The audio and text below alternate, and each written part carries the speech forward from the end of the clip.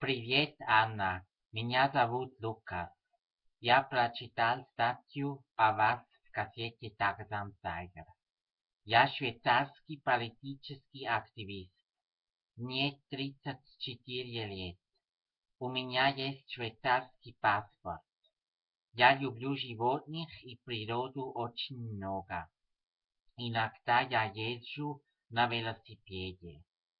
Все еще я живу с матерью, но я планирую переехать от нее. Заинтересованы ли вы встречи со мной? Мы могли бы встретиться, например, в Раппасвиль или на митинге Фемен в Швейцарии. Я хочу помочь вам и Фемен. Если мы любим друг друга, мы могли вступать в брак. Я знаю, что брак является консервативным деликт прошлого, но для того, чтобы оставаться в конкретной стране, это полезно. Если вы не готовы к отношениям или браку сейчас, мы могли вы также остаться в контакте или жениться на более поздний срок. Я знаю немного русский, и я написал этот текст с помощью Google Translate с простыми словами, чтобы я мог еще понять переведенный текст.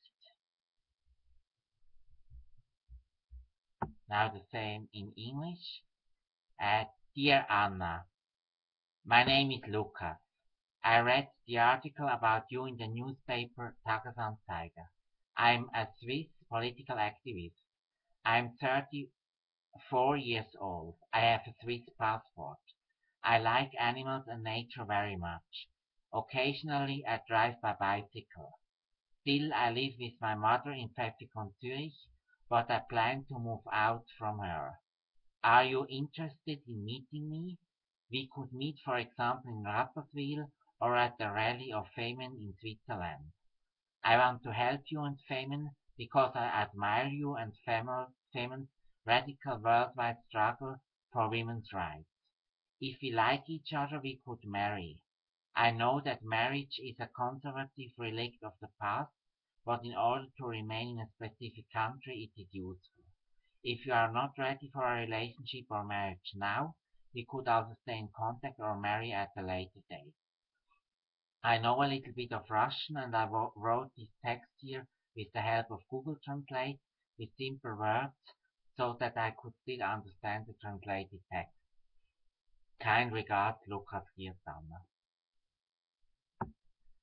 Here's some additional information so that you know more about me. I would like to meet you. I live very close from your place, Rapperswil, in Pfäffikon, Zurich, about half an hour by train. And I have read in the online newspaper that you were seeking asylum in Switzerland and that your request was rejected finally and that you will have to go to France, so I might be able to help you to stay in Switzerland. I have a Swiss passport and I am single, so we might be able to meet and possibly marry. I love cycling and I like animals very much, especially dogs, rats and mice, but at the moment I don't keep any of them. I also read online news a lot, like that I also discovered the article about you.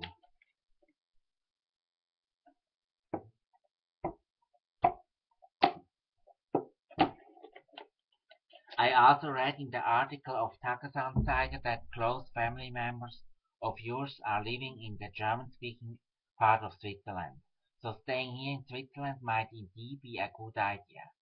Furthermore, Switzerland is a politically and socially liberal country, so it would certainly be beneficial to coordinate Femen's activities from Switzerland. Admittedly, you are far more successful than me in getting media attention. You are an expert in it. I have also watched videos of you and I am impressed by your presence. I am studying or have studied media science, educational science, history and computer science at the University of Zurich in my spare time. And in my spare time, I am a teacher of robotics and information technology for children. In 2012, I participated in the Occupy movement here in Switzerland, distributing leaflets with my ideas. I have also attended meetings of an anarcho-communist group and an animal rights group in Zurich.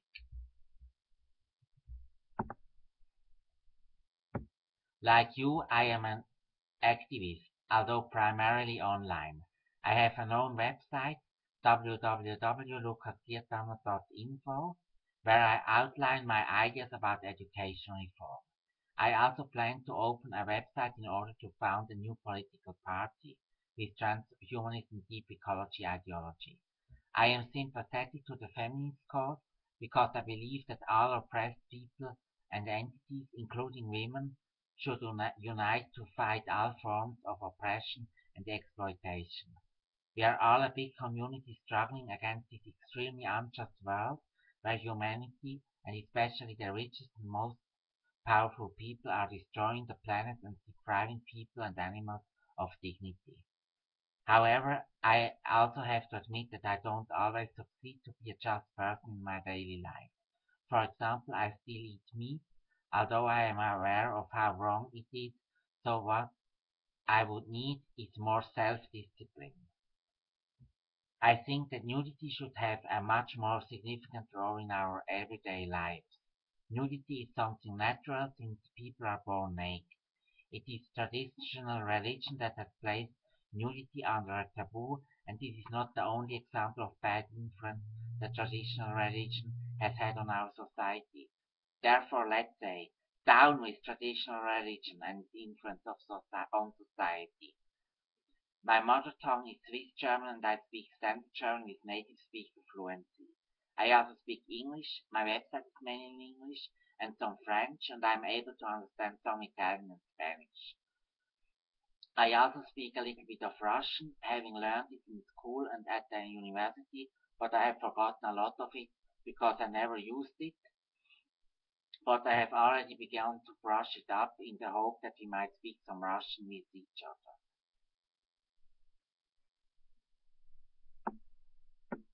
So all in all, I hope that I'm able to help you and you don't have to leave Switzerland.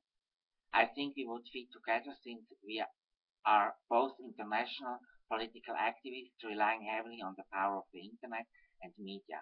But admittedly, I haven't been that successful like you so far. It seems that I have waited for several years to have an opportunity like this to make the acquaintance of a woman like you with whom I have so much in common and possibly marrying you if the chemistry between us is right. I really hope that I can help you to stay in Switzerland.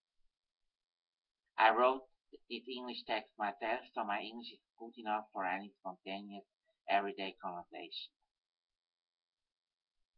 You can write me back an email or I'll simply make a phone call to uh, the two phone numbers that I've written in the email. Please contact me if you have the impression that I might be able to help you. Kind regards and hope to hearing from you, Lukas Girtanner. Thank you very much for having listened until to this point and uh, uh, see you and I'm looking forward uh, of, of hearing from you. Bye.